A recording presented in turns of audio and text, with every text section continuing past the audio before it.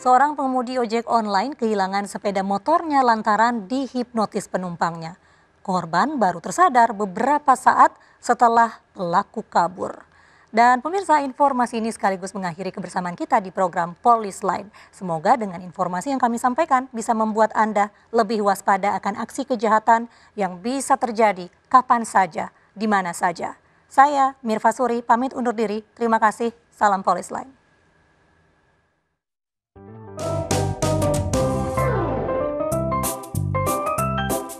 Malang betul nasib babang ojol yang satu ini. Usai mengantar seorang pria dari Cengkareng ke Grogol Petamburan, Jakarta Barat, doi nggak dibayar sama penumpangnya.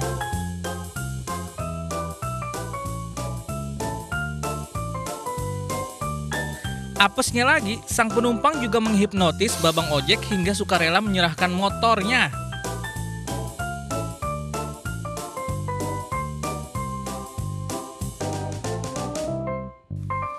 Korban baru tersadar setelah seorang warga memperingatinya. Uduh, jadi sedih liatnya pemirsa.